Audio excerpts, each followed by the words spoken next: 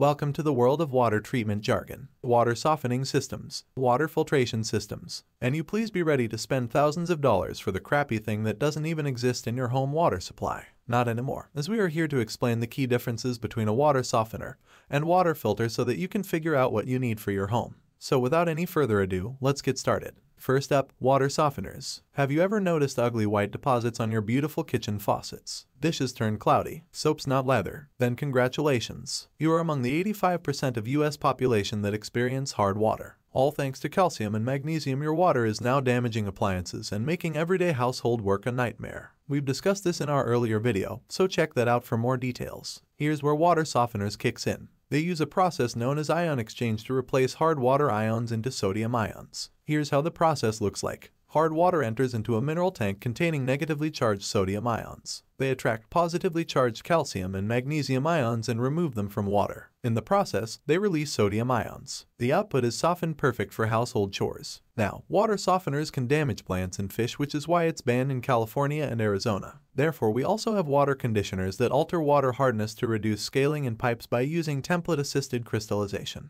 Now, here's the catch. Water softeners do not clean water from impurities, iron, chlorine, bacteria, and all that nasty stuff. Here's where water filters come in. Water filters use different techniques like reverse osmosis, carbon filtration, and sediment filters to remove sediment, harmful microbes, heavy metals like arsenic, iron, and other contaminants from water. So even if you've water softeners but have metallic water taste, you'll need a water filter. Okay, so what should I do? Which is better for me, water softener or water filter? First, conduct a water test. It's all the important if you're on well water as EPA doesn't regulate well water supply. You can use water testing kits like from TapScore or from a state-certified lab. Get the results to know what exactly is there in your water. Only water hardness. If you've low to medium water hardness, go for water conditioners or else water softeners. Contaminants present. See the exact impurities you need to remove and choose water filter accordingly. Check for NSF certifications to see if your chosen water filter can actually remove the bad stuff you have in your water. It's better to choose point-of-use water filters if your problem is specific to kitchen sink or shower,